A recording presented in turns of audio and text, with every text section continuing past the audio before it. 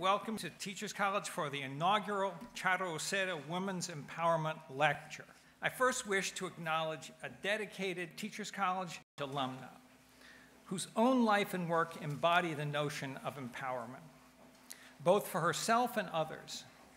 She is an innovative educator as well as the visionary entrepreneur who co-founded the Uceda English Institute a network of schools that help students from all over the world learn English as a second language. She has given generously to TC over the years, especially to support master's students undergoing financial hardship. And it was her generosity and vision that made this lecture series possible. Charo Uceda, would you please rise so that we can all properly thank you?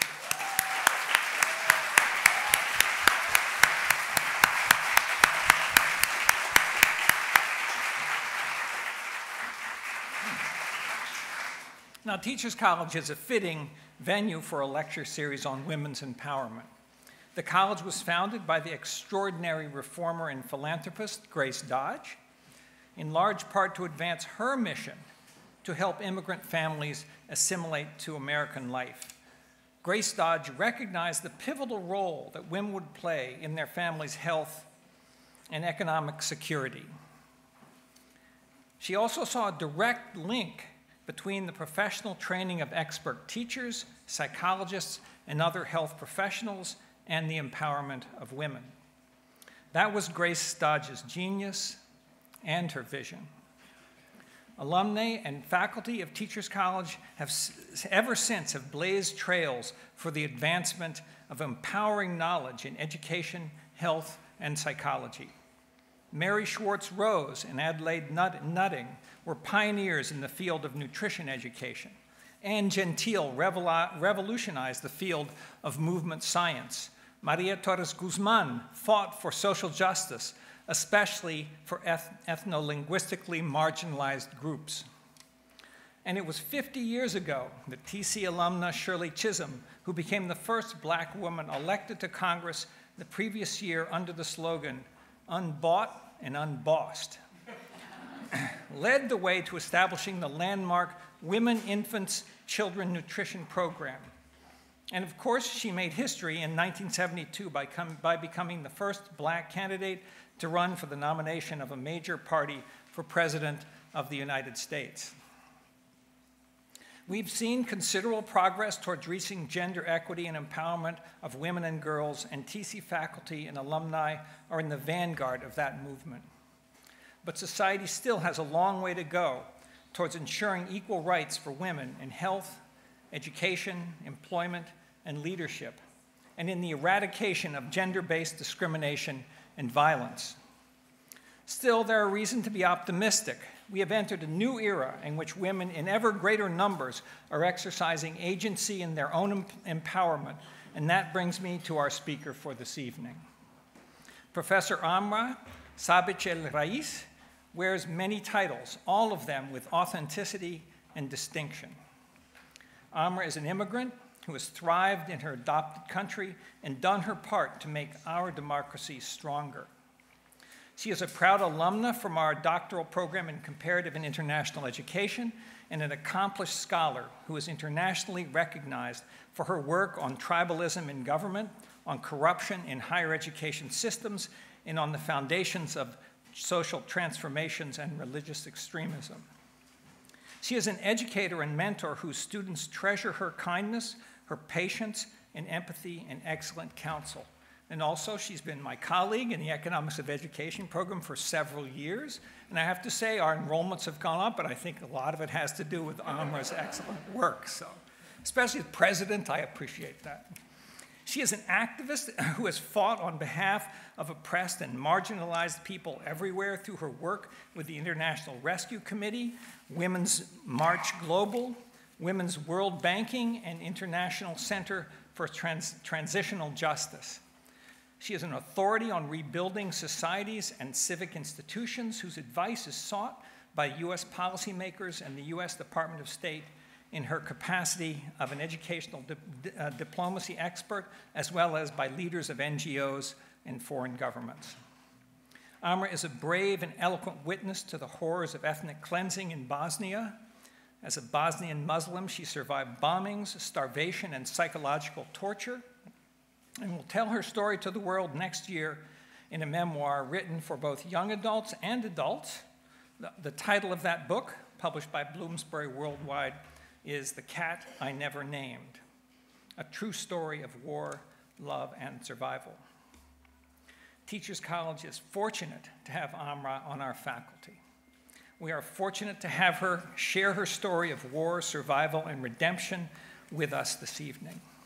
Now, after Amra's talk, she will be joined on stage for a conversation with Jane Eisner, currently the Director of Academic Affairs at the Columbia Journalism School and formerly Vice President of the National Constitution Center, the editorial page editor and nationally syndicated columnist for the Philadelphia Inquirer, and more recently, the editor of The Forward. Following their conversation, there will be a brief question and answer period. Members of the audience are asked to submit their questions for Amra via Twitter using hashtag UCEDA lecture. Hope you all get that. Now, without further ado, please give a warm welcome to Professor Amra Sabic El Rais. Good evening, friends, colleagues, students, and distinguished guests. Thank you all for being here tonight, and thank you, Tom, for your kind words and introduction. It is a distinct honor to have been selected to deliver the inaugural Charo UCEDA lecture on women's empowerment and share with you my story of survival during the Bosnian War.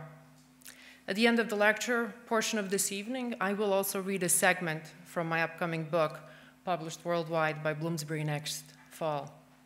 But first, I want to express my gratitude to both Teachers College and Charo, an inspirational philanthropist, educator, and self made businesswoman, for creating this space for women to speak of their experiences, to both self empower and empower others.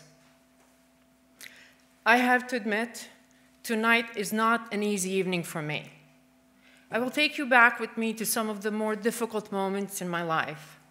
They remain vivid in my memory, and they inspire scholarly commitment to the study of radicalization, corruption, social transformation, and exclusion. But as, as anyone who has lived through trauma knows, we tend to internalize tragic experiences rather than place them on a public display. I'm here to share with you how I have learned to cope with discrimination, war, and loss, but I'm also here for the following three reasons. First, I feel responsibility to speak on behalf of my friends, classmates, and relatives who have been raped, killed, and tortured simply for who they are.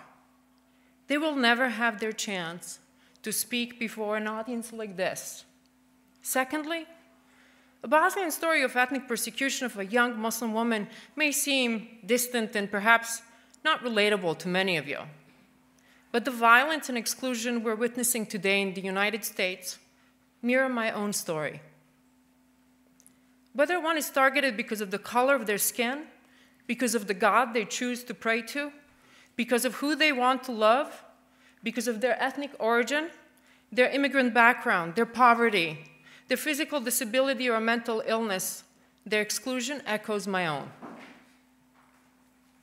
And the third reason uh, why I stand before you is that I know there's both empathy and intellectual power in this room tonight, and both are needed to bring our communities closer together and compel us to collective action, both professionally and personally. I will begin by sharing a bit of background on the Bosnian War, especially for those of you not familiar with the reasons behind the war. I grew up in a small town of Bihać in the former Yugoslavia in the Republic of Bosnia and Herzegovina. At the time, Yugoslavia consisted of six republics and two autonomous regions. But the Republic of Serbia was really the dominant player and in control of the nation's politics, economy, and military. As the communism came to an end in early 1990s, this cobbled together nation of Yugoslavia started to fall apart. And individual republics sought their independence. Instead of independence and equal rights for all, Serbia wanted to turn Yugoslavia into an ethnically cleansed and imagined nation called Greater Serbia. This led to multiple wars. First, Serbia attacked Slovenia, then occupied a portion of Croatia bordering Bosnia near my hometown. Bosnia was more ethnically diverse than any other republic in the former Yugoslavia. So once Serbia attacked Bosnia and received support from the local Bosnian Serbs, the bloodshed was particularly gruesome. Bosnian Muslims stood in the way of ethnically clean Greater Serbia. So one of Serbia's key military and political goals became the ethnic cleansing of Bosnian Muslims. I was one of those Muslims. I remember growing up in the former Yugoslavia as a young girl feeling marginalized in our educational system. I fantasized about encountering Amra as the main character in one of my school readings, perhaps depicted as an excellent student, or a funny girl, or a good friend. But Muslim girls with names like Amra were invisible to our educational system. We were not present in our school readings. We only lived in the popular culture, in jokes that ridiculed Bosnian Muslims as stupid and worthless.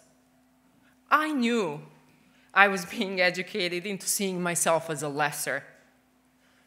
Though I was a young girl then, I desperately wanted to belong and experience respect in my own community.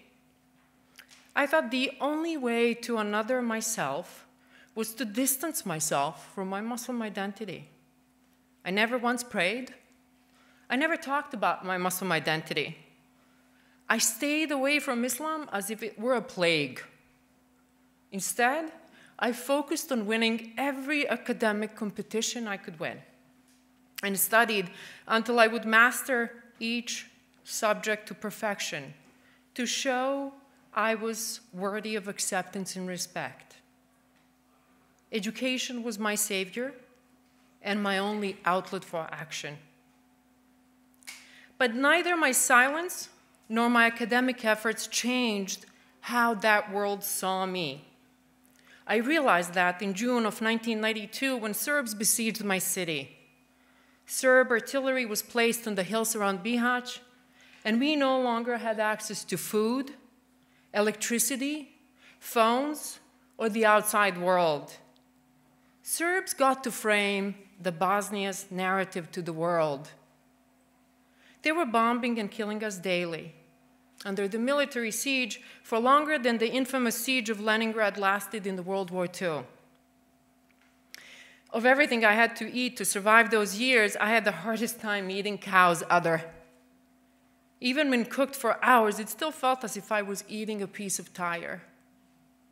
On the other days, my brother and I would be feeling sick and starved and unable to get out of bed. Several times, on my way to school and once to see my father, who was hospitalized, I had passed out in the street. Death defined the next four years of my life, and that of most Bosnian Muslims. Here I would like to share with you a few photos from Bosnia to give you a sense of the extent and nature of violence against Bosnian Muslims. The first photo is from one of Srebrenica genocide's mass graves, where over 8,000 Muslims were killed in two days in July of 1995. The second photo of a, is of a Muslim begging for his life. Third speaks for itself. It's a concentration camp.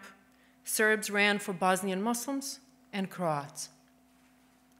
The next photo is the most memorable photo for me of a doll found on a mass grave. And the last photograph is of a mother who survived Srebrenica genocide standing in front of Anne Frank's house in Amsterdam. During those years, every day, someone I loved I played with or I knew died. It felt as if I stood in a quickly moving line for execution, waiting for my turn. And it was only a question of how and when I would die. I was certain that survival was not in my cards. I will share one particular moment with you that I think carries an important lesson for all of us in this room. We were often running out of food, and at one time, my mother wanted to use our last money to cross the enemy line, where we knew others have gone to trade with the Serb soldiers. We could not afford the prices in the black market. By that time in the war, my mom was already deaf from a bomb that hit our home so I insisted to go with her. The two of us had hoped to buy cooking oil, flour, or salt. One day we crossed into no man's land between the Serb and Bosnian soldiers. We knew some of those who dared to walk through that area before us had lost their limbs because of mines. For Serb soldiers, we were just vermin, free for them to shoot at, to capture, theirs to use. But when they could make money off of our desperation, they did not mind. When my mom and I got to them, they laughed at us and our audacity to stand in front of their bunkers and artillery. We asked if they had any food they could sell to us. Within minutes, one of the drunken soldiers grabbed me, and as my mother struggled to pull me away, a Muslim soldier fired a shot to help us escape. Shooting ensued, and before too long, my mother and I were back to running and crawling through the minefield. I didn't even think about being blown up. Anything was better than being raped by those leering, cruel men. I cried on our way back home, realizing that my life was miserable. I was disgusted at life, at us, at our desperation of the world, at everything around us. All of humanity was infected with hate. And all of this was happening to me because I'm a Muslim. A Muslim who never prayed, just a Muslim by birth and blood. For that, I was marked.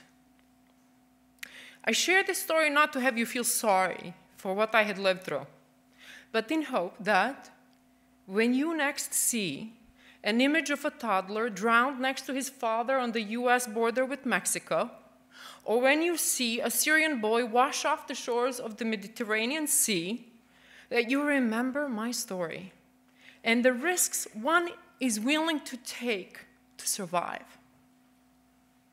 I hope in those images you will no longer see Mexican migrants or Muslim refugees but human beings with courage and resilience.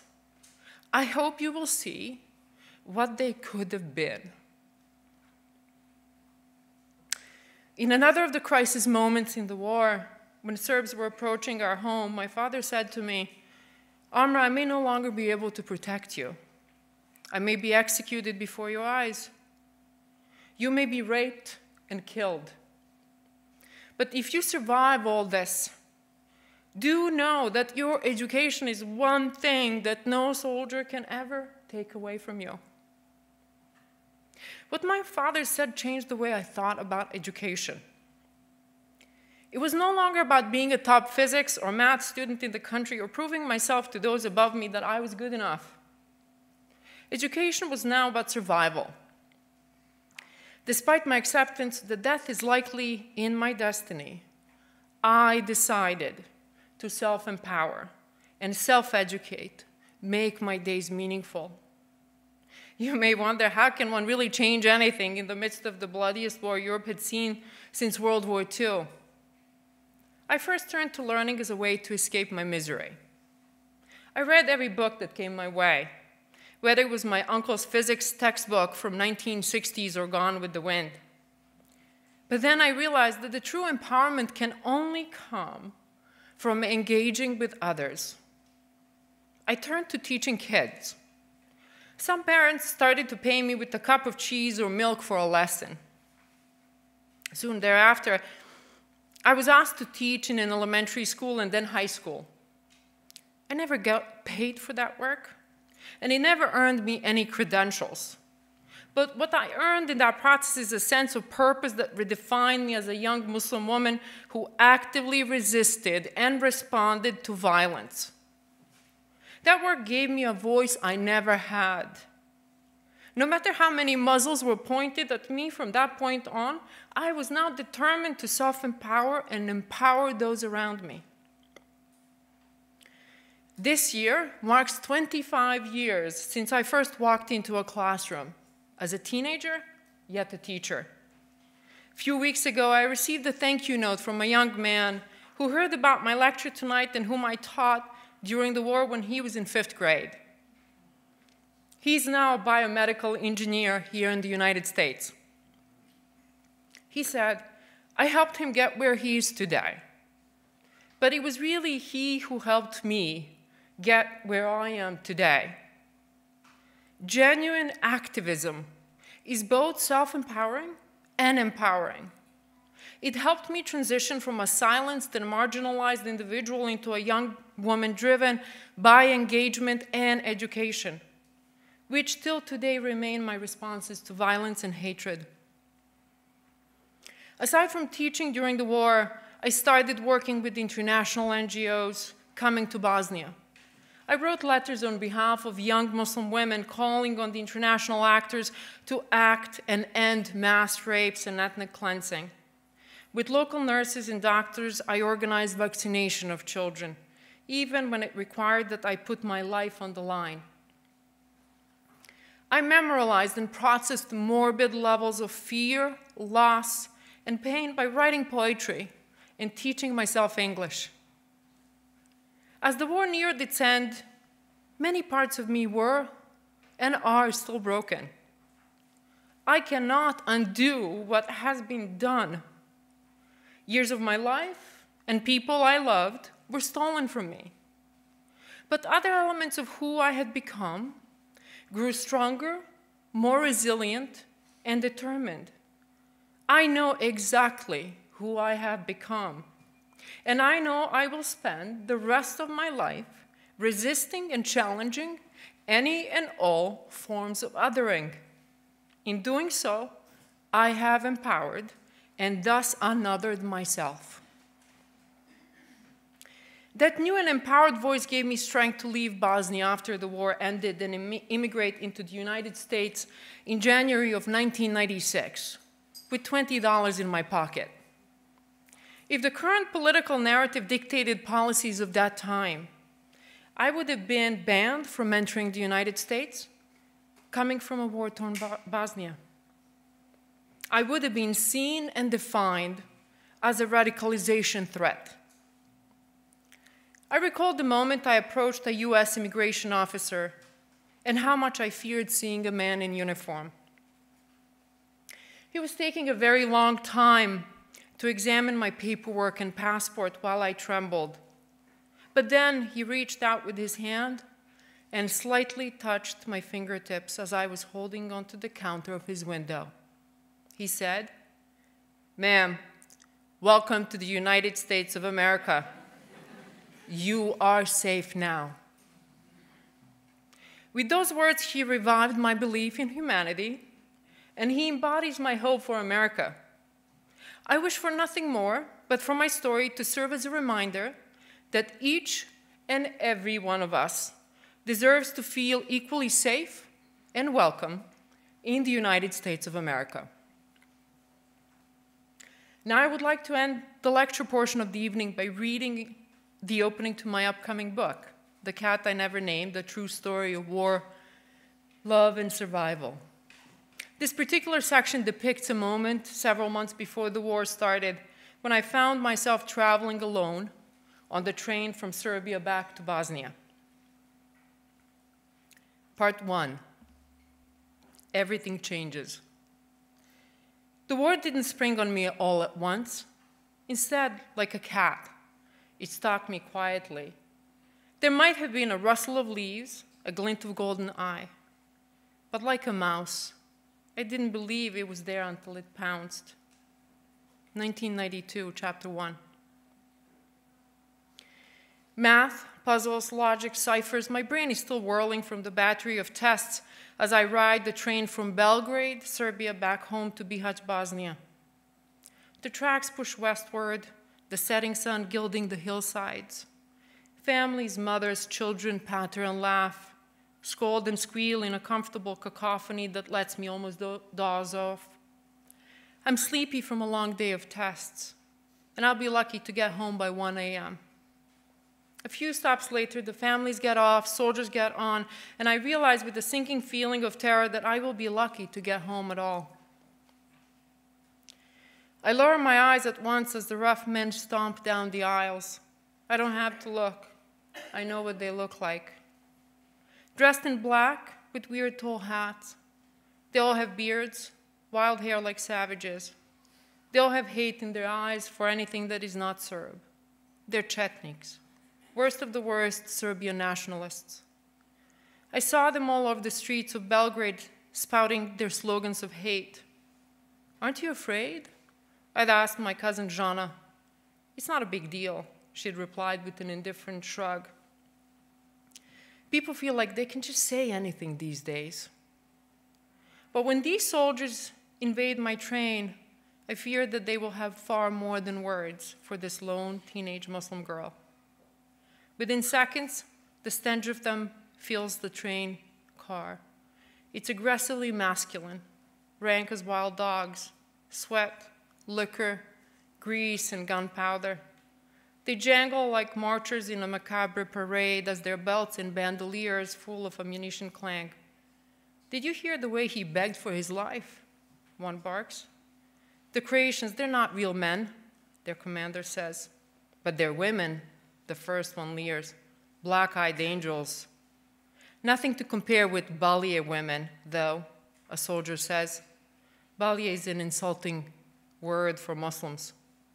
I've heard they're like rabbits, eager and soft. The commander cuffs him on the head and he reels drunkenly. You don't fall in love with them, you idiot. You put Serb seed in their bellies. He grabs the soldier by the collar. You wipe them out generation by generation. You dilute their unclean blood. You honor them with half Serb babies. And one day they will be gone from this earth, and only Serbs will remain. Another Chetnik chuckles menacingly. I don't think they realize they're being honored. One I had screamed so loud. Their conversation is lost and as they head to the back of the train. I tuck up my knees, curling myself as small as possible as I fix my eyes out the window. I want to run off this train, but would that be any better?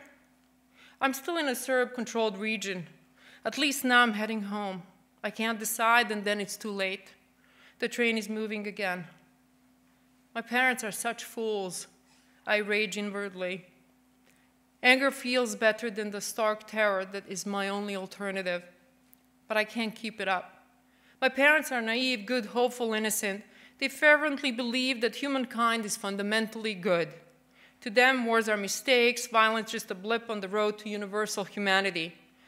Sure, it has happened before, but they believe in their inmost hearts that any day now the world will come to its senses and be the peaceful, philosophical, intelligent place it was meant to be. They're sure that the world can come for their children. They believe that education is the key to creating that utopia.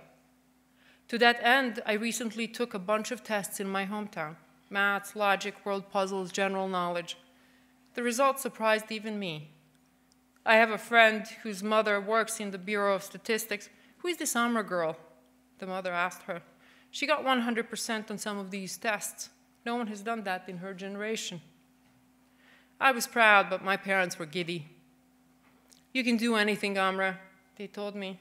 Just follow through, never give up on your education, no matter what happens. It's the most important thing. That's why they put me on a train to Belgrade, in the heart of Serbia. It was the only place to take the next and highest level of tests.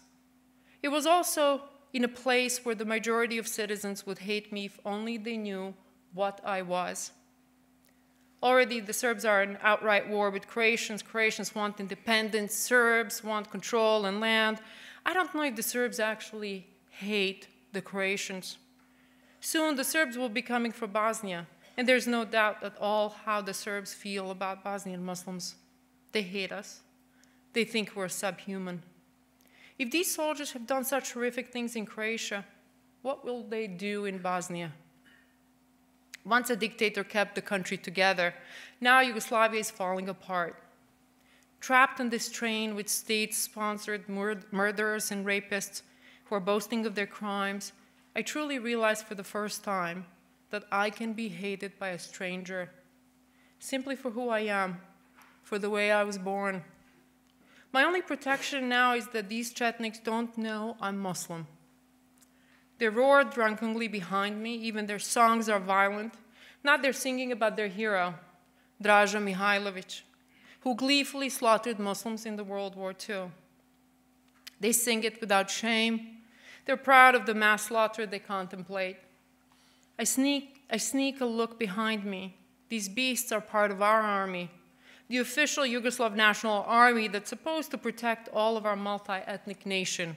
Muslims, Serbs, and Croats alike. But these men are all Serbs. Some still wear the official YNA uniform, but most of them have switched to Chetnik dress and insignia. They have officially declared that they are the army of the Serbs, not the army of Yugoslavia. Henceforth, Yugoslavia will be only for their kind. I stare too long, and one of them catches my eye. Instantly, I spin frontward, looking hard at the seat back, hoping against hope that a train official or ticket taker will come into our car now. But even they don't want to deal with drunken soldiers. I'm utterly alone as one of the men rises unsteadily to his feet, takes a swig from an amber bottle, and staggers my way. When he leans over my seat, I smell the alcoholic, unwashed stench of him. His long beard is matted and greasy, with his strange clothes and hat his bloodshot eyes, he looks like the scariest character out of a children's book, an ogre who snatches unwary children and drags them to his lair. Hello, young Serbkinyo, he says, young Serb woman. A tiny part of me relaxes. He uses a friendly, familiar greeting. He thinks I'm Serb like him. And how could he tell? Muslim women here don't wear hijabs, we don't speak Arabic or recite the Quran. We're Muslims of birth, of ethnicity, not religion, really. I have brown hair, fair skin, brown eyes. I probably do look like this Chetnik sister. What if I pointed that out to him? If I said, if you can't tell the difference, maybe there is no difference. Maybe we're all just people. Would he change? Would he go home and preach that change to his family? Of course, I don't dare. Of course, he would just say I'm a sneaky, lying Muslim bitch out to trick him and steal his country. And once he knew I wasn't one of his own people, he would consider my body his to do with as he chose. He and the other soldiers would feel free to beat me, to rape me, and they would never feel a spark of remorse about it. I tried to look polite and shy instead of quaking and terrified. A well brought up Serb girl wouldn't speak to a soldier alone on a train. Want a drink, sweetheart? It's a chilly night. He thrusts the bottle at me. Some of it splashes on my tie. Its acrid smell curls in my nostrils. I put on as much of a Belgrade accent as I can and say, No, thank you. I even try to smile. You shouldn't travel alone, you know, he says, looking honestly concerned the country's a mess. There are dangerous men around. But don't worry, you have the Chetniks to protect you. He sways down the aisle back to his seat, and I hear them talking about how easy it will be to drive the Croats from their homes. Where there's one Serb, there it is Serbia, they shout. Serbia do Tokyo. Serbia to Tokyo. That phrase had innocent origins when the Serbs won a big soccer match in Tokyo but they've come to use it as a nationalist slogan, proclaiming the desire to dominate the world. They're traveling my route. They will pass through my hometown, but they will not stop there. My home is near the Bosnian Croatian border. These soldiers will travel on, just across the border, where they will kill and maim and rape any non Serb they can catch. And tonight, they sing about it. They celebrate the slaughter that is to come. My city has been saved so far. If I can just get to the Bihać station, I will be fine. My city is cosmopolitan, peaceful. Muslims, Croats, and Serbs have lived in harmony there for generations. Home is safe. That is what every child knows in their bones, right? even a 16 year old child like me. Just get home, I chant to myself. Just get out at your stop, and this will all be over. If I miss my stop, the next one is in Croatia. If I miss my stop, I am in a war. Thank you. Oh, Amra, it is such an honor to be here with you. And it's very difficult, even just to um, collect ourselves from this harrowing tale. But your story, as harrowing as it was, also contains so much of what's good in humanity. And I'm wondering if you can share with all of us how you got to the United States, uh, who helped you, and what that meant to you. What did you learn from it? Thank you for asking that question. Um, unfortunately, it's hard in, in half an hour to put to put four years of war and then a life that subsequently followed. Um, but I'm really glad you asked that question because there are a number of people that I think of when I think of um, being lucky enough to have survived and to be here. Um, as I mentioned in my speech, I um, worked in the last year of the war with doctors and nurses in Bosnia trying to organize immunization of children. And during that time, we were under the siege, so the only time immunization would happen is if UNICEF truck with vaccines would be let through through the um, siege uh, by Serbs. And on those days, on those occasions, um, we would travel around the what we called my hometown and the area around Bihać Pocket, the only area that was not controlled by Serbs in that part of the country. And I worked out of a clinic, uh, local clinic, with these doctors and nurses. And one day, two um, child psychologists showed up knocking at our door. Their first names were Wayne and Drew. I don't know their last names. They worked for IRC, International Rescue Committee. And they asked me to help them um, show them schools around, and um, they wanted to understand what was the state of children in Bosnia during that time and the state of education. Um, so I took them to my elementary school, to my high school, and Bosnia is a small place, and particularly that uh, town in which I grew up was a small town, so everybody was familiar with my academic record and um, uh, being a real physics and math nerd. Uh, so one of the heads of school suggested to them and said, well, you can't save all of us, we're all gonna die, but at least save this kid that came with you. So when they left Bihać after 48 hours or so, they said, Amr, would you like to give us your transcripts? Would you like to come and study in America? And to me, this was still in the midst of the war, under the siege. That sounded like someone saying, would you like to go to the moon? Um, and I said, of course I would. Um, I gave them my birth certificate, my transcripts, all of my diplomas and awards. I thought, um, it doesn't really matter if they lose those documents. I will never need them again. Um, months went by, the war ended, and in the very same clinic, uh, while still working with doctors and nurses, I received a phone call and by the way, we still had no phone lines. There was a satellite phone um, in this clinic, um, this huge sort of thing that I was afraid to even touch unless it rings. And I pick up the phone line, and someone on the other line from, from World University Service in Zagreb, Croatia says, Amra, we're glad we found you, that you're alive. You have a benefactor who wants you to come and study in the United States, and they're going to fund your scholarship. And I hung up. I, I just thought it was evil for someone to pull a prank of that kind on me. And um, this woman, whose name is Davorka, she calls back and she says, please, don't hang up. This is real. We've been looking for you for the last six months, and I'm so glad you're alive. Um, you need to get to Croatia on one of the first buses um, that were let um, uh, to go through after the siege. Um, you really need to be here. You're late by a semester to go to Chestnut Hill College that has given you a full scholarship thanks to several people. And um, I had no idea how this all came about, but I showed up in Croatia, got my visa, and flew to the United States, and it's only once I got here that I understood the other side of the story. So Wayne and Drew, two psychologists that I saw for a few days in Bosnia during the war, whose names, last names I don't know, um, took my papers um, when they went back to a board meeting of IRC here in New York City. They were presenting statistics and trends and showing pictures of the horrors. And one of the board members, his name um, is David Pincus, got up and said, Forget the numbers, I want to save a person. Who can I save? Give me one individual I can save. And they said, Well, we have documents for this girl who apparently seems to be strong academically, and maybe you can save her.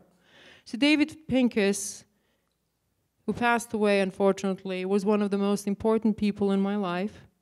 Um, he was a Jewish philanthropist, a successful businessman, who heard about Sarajevo Haggadah, one of the oldest Sephardic Haggadahs in the world. It's deemed to be one of the more valuable books in the world today.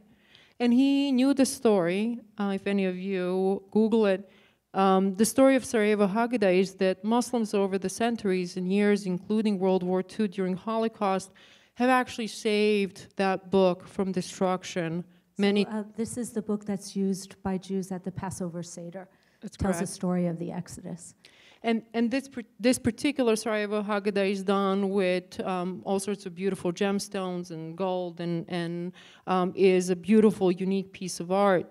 Um, and it was always a Muslim that repeatedly through history saved it from destruction. And David heard that story, and he wanted to pay it forward. Um, and I was his way of paying it forward. So David um, made sure that he involved a number of other people who helped me in different ways, and I'm just going to name a few of them. Professor Michael Sells, who was a professor of Islamic literature at Haverford College at the time. Now he's at University of Chicago, who in his own ancestry had um, some Serb blood. And he didn't feel good about what Serbs were doing to Bosnian Muslims, and he wanted to change that. So he organized Community of Bosnia, which was a small organization that made it its mission to bring people like me for further study to the US. He also worked with Deborah Cooper, a social worker who was Quaker by background, who involved Philadelphia Quakers, and later when I went to Brown and transferred to Brown, Quakers in Providence who um, helped me and others get over some of the worst moments that we had when we initially came to the United States. And um, last but not least, I want to also recognize Chestnut Hill College and Catholic sisters who ran Chestnut Hill College, who run Chestnut Hill College, who took me in, who gave me the first scholarship. And I would go around to all of my classes with uh, TDK tapes. For those of you who are younger, you don't know what that means. Uh, you can Google it. Um, I would go around with this recorder that Sister Anita Lewis Bruno gave me and record all my professors because I didn't really speak English or not well enough to, to be able to do academic work at the time. So I just want to give that as an example of really this genuine activism where people from very different religious backgrounds came together to save me and really introduce me to what America should be about. It's, it's so important.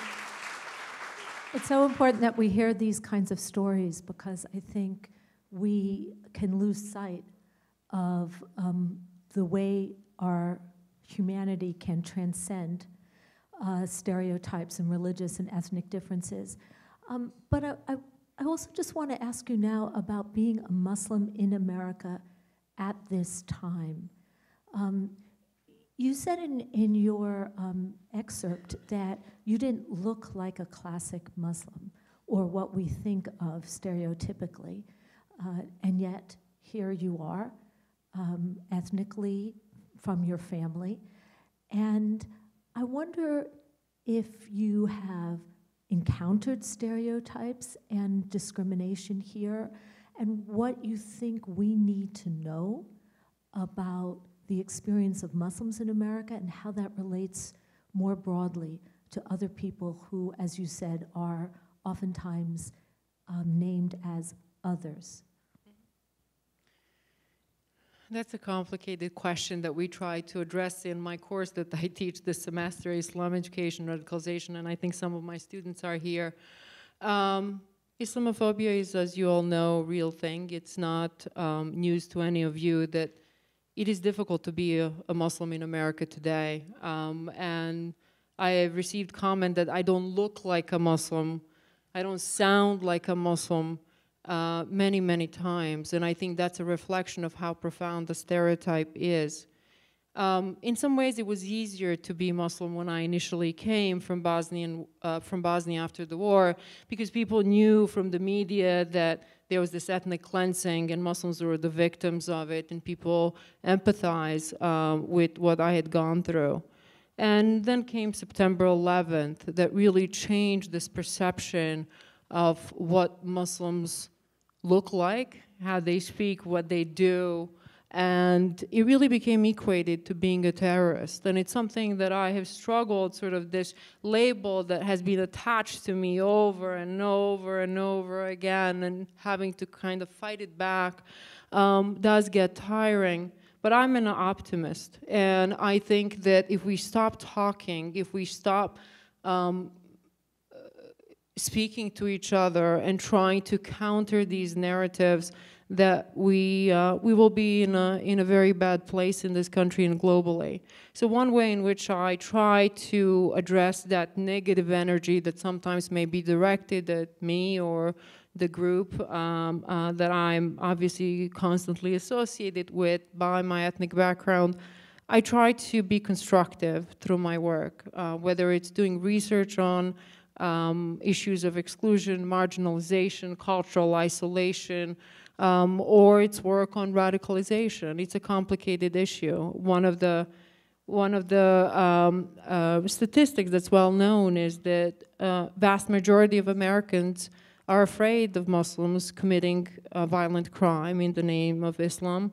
But also one of the other statistics is that most uh, victims of terrorism in the world are Muslims. And to be in both places at the same time um, is not an easy, um, an easy place to be, but we have responsibility to fight those stereotypes. Especially, I want to really recognize Teachers College for being forward-looking and giving me that space and room to create a course like Islam Education and Radicalization, because to my knowledge, it is the only course with that content at a school of education in the United States.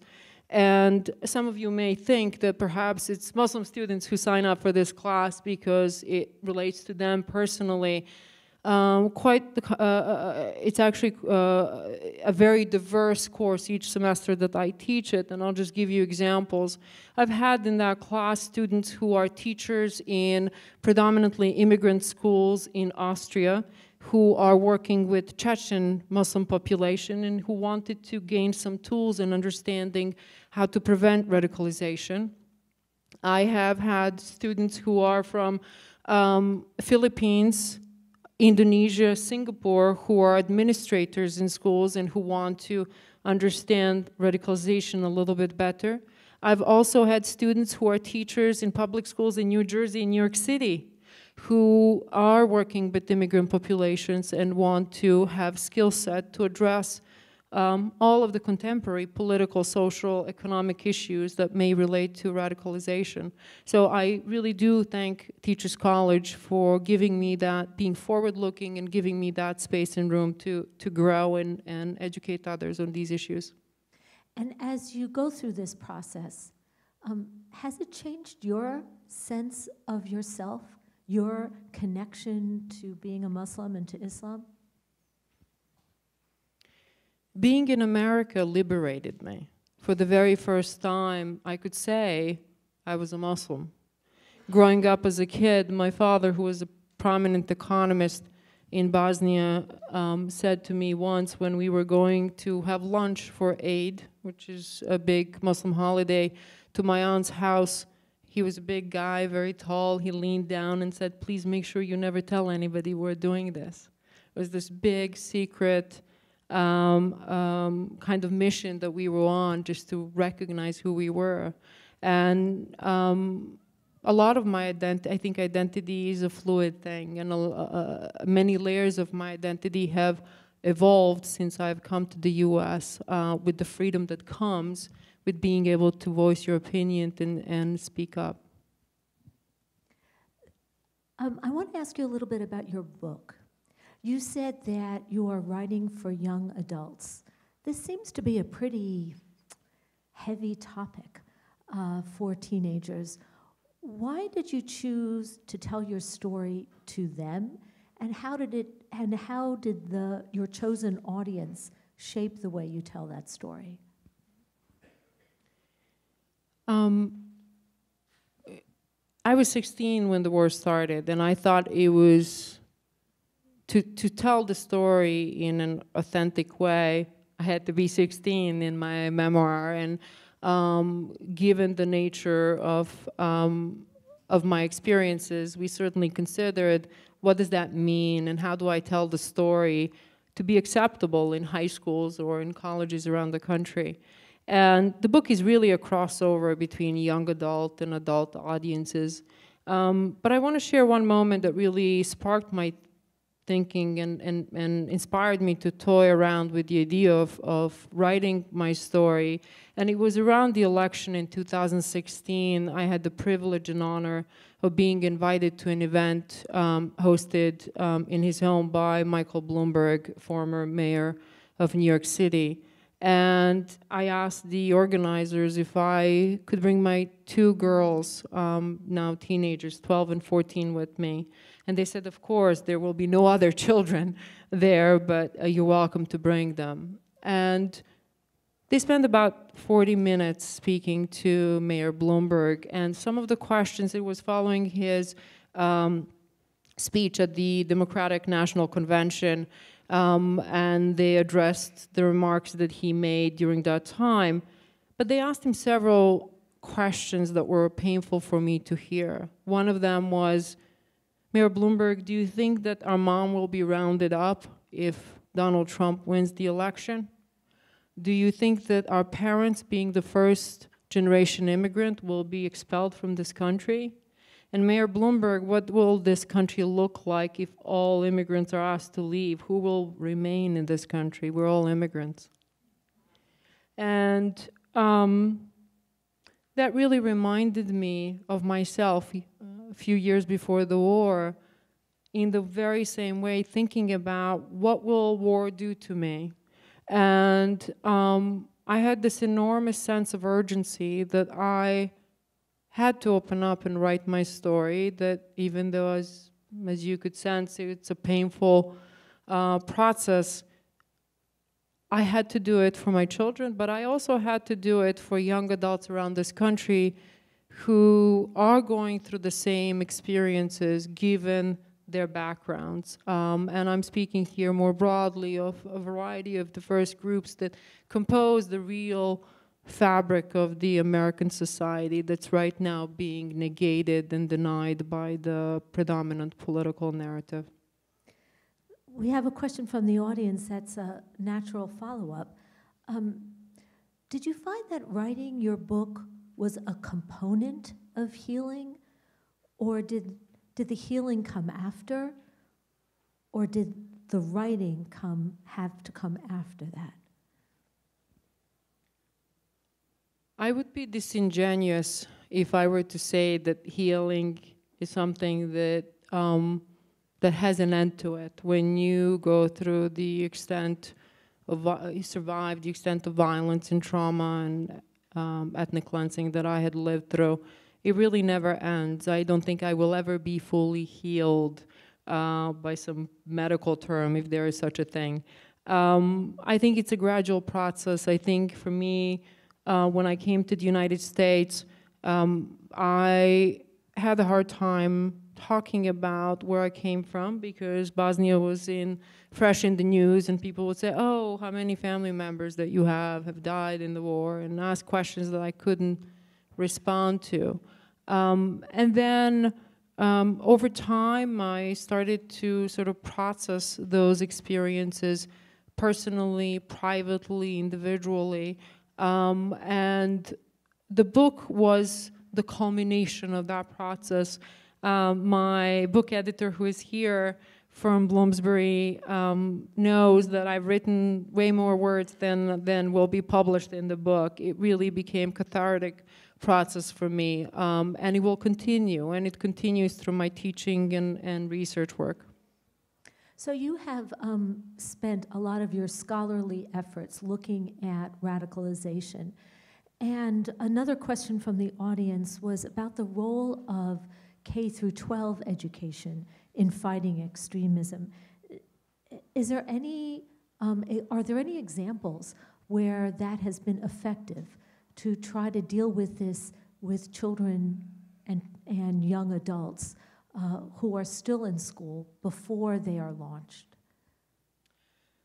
Um, unfortunately, um, the programs that have been sort of instituted at the national levels too in a variety of countries for the most part, uh, particularly uh, I'll say in the West, in Western Europe, and here in the United States, um, have not been thoughtfully designed in my view. Um, in the United States, we've had a uh, pilot program, for instance, that um, started during the Obama administration and then um, continued into the current administration that looked at three cities and um, has not been well organized or really implemented in a way that creates an inclusive environment um, in the educational system.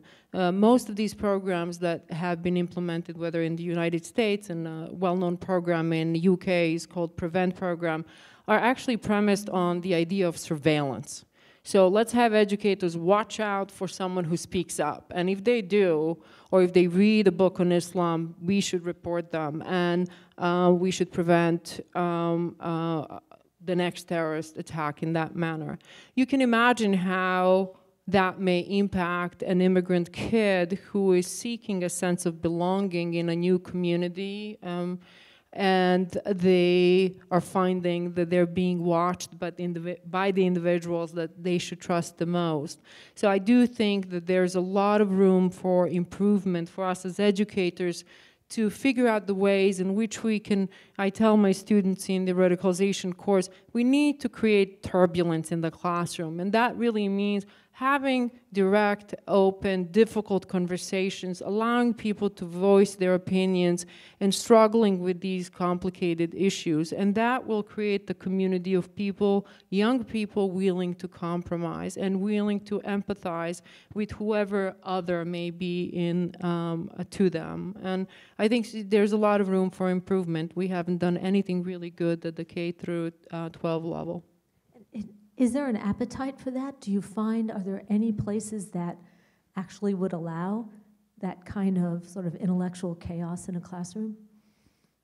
Teachers College, for sure. um,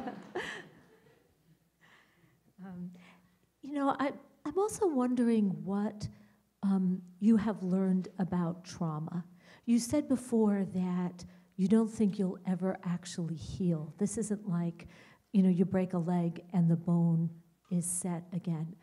And I'm wondering if you have discovered something about yourself in dealing with trauma that you might feel comfortable sharing with the rest of us as a way of also shoring up our own resilience. Um, trauma is a, is a um, in my view, a very broad um, difficult term to, to define and what does trauma mean for me versus some of my uh, um, classmates and, uh, and friends in Bosnia who survived the war and then um, committed suicide um, after living through all those four years and, and how one really at the personal level um, digests the pain um, and hate directed at them in, the, in this case. Um, I would say one thing that I learned um, about trauma and, and coping um, with those types of experiences is that I couldn't hate and I could not respond with hate um, in, in response to the violence I was exposed to. There were certainly moments during the war when I had visceral reactions of rage and anger when my home was bombed and my mom became deaf. Um, and I really deeply wanted to hate men on the hills who were bombing us daily. But what I really learned is that it's a destructive feeling, and there's nothing that can be achieved with hate. The only uh, outcome of that uh, of that feeling would be for me to be further traumatized by becoming exactly those that um, uh, exactly the same to those um, that were targeting me with violence. And so I learned to really redirect negative energy that's targeting me to something that's constructive. And that's what I would give as a general advice. Always look at the glass half full and and see if you can redirect any negativity that you feel or pain you feel inside into something constructive in the same way that I've done with teaching children um, during the war in Bosnia. Well, thank you so much. I feel like I can ask you a million questions, but in fact, it is my honor to uh, give the last question to our um, inspiration tonight, uh, Charo Uceda. Would you like to ask the last question of Amra?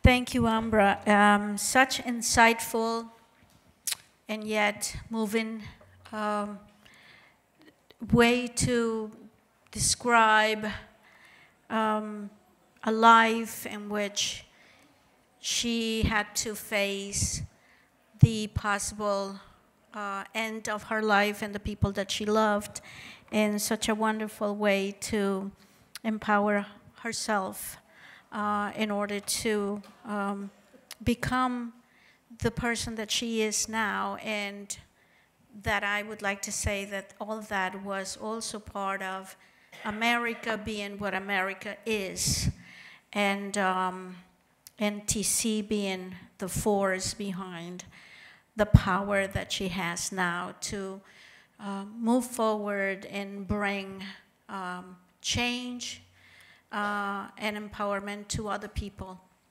Um, but my question to you was coming to my mind uh, over and over again, and I just quickly would like to ask you that while you were living all these um, situations in your life, um, were you um, were you prone to hate the people that were your tormentors and the people who were doing all these things to the people that you loved?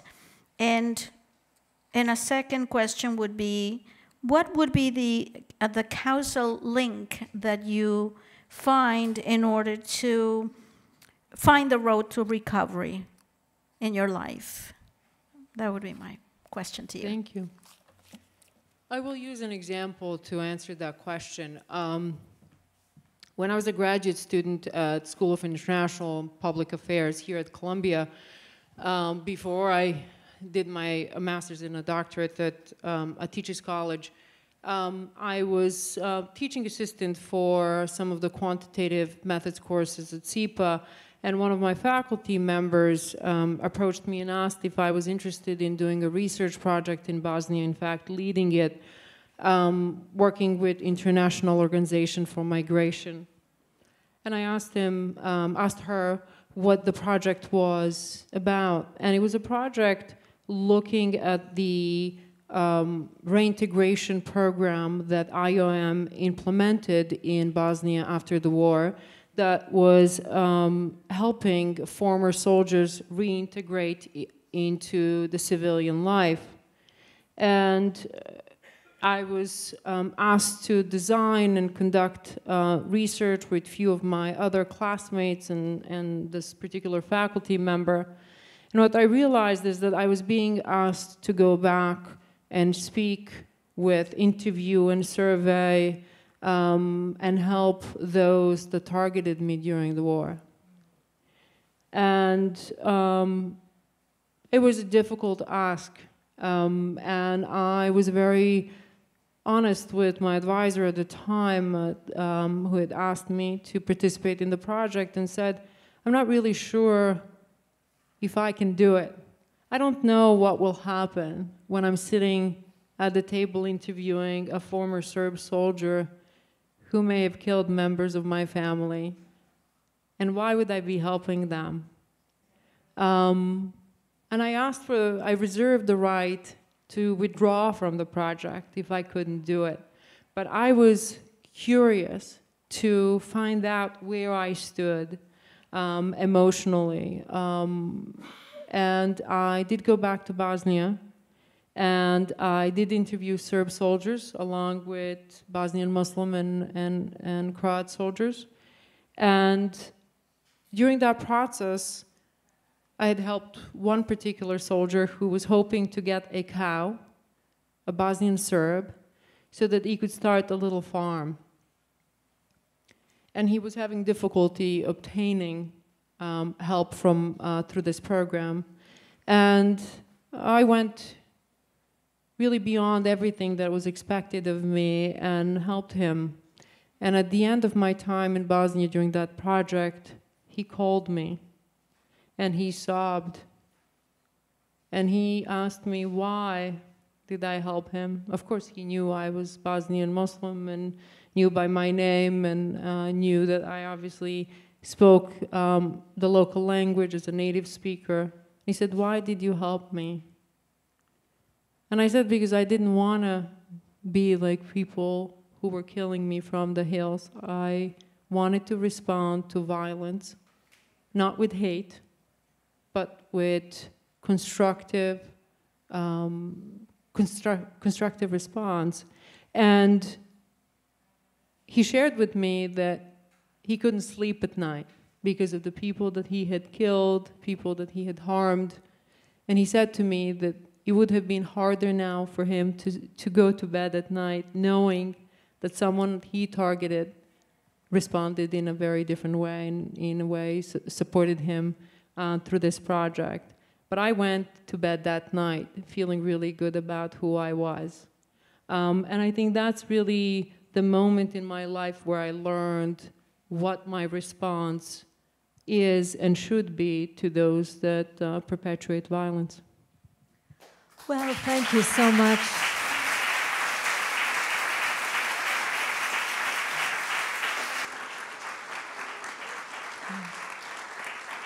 I know that all of us here feel like we were in the presence of uh, someone whose extraordinary gifts and humanity just shone through. Thank you. It was really an honor to be here with you. And I want to thank Teachers College for sponsoring something like this, and especially to Charo for um, elevating this story and the story of so many other women who empower themselves and others. So thank you. Thank you.